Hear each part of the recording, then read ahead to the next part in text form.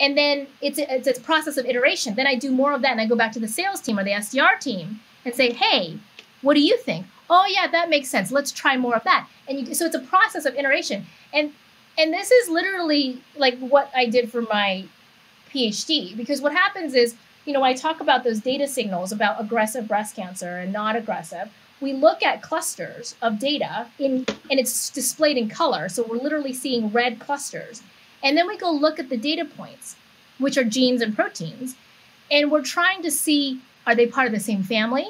Do they interact? Can I tell a story around them? And then we build the story that way. So it's very much the same thing, right? And that's exactly the same kind of analysis that I do when someone asks, here's my digital marketing.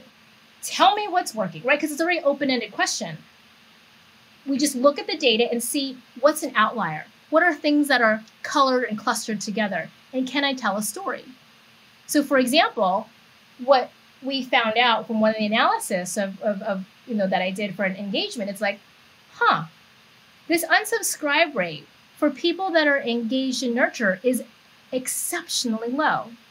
So that tells to me that you know people that are engaged, you can send them a lot of messages, it doesn't bother them, right? Versus yeah versus people that aren't engaged, they're annoyed after and they just don't want to hear from you. Versus the other question that I hear, which again I don't think is the is the question I would not ask is how many emails do I send until people are pissed off and unsubscribe? I'm sure you hear that question a lot, right? Oh yeah. But that's not the right question. You got to come at it that the other way around.